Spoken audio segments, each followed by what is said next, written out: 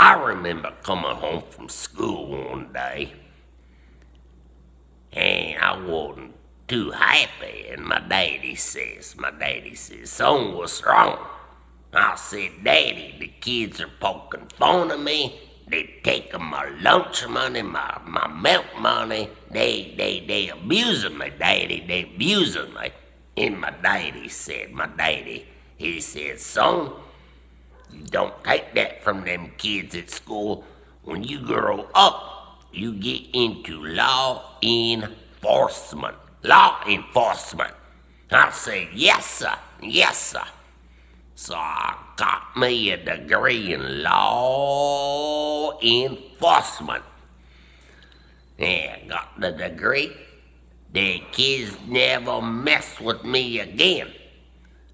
I don't carry a gun, but I have authority. Authority. Yes, sir. Yes, sir. I have authority now.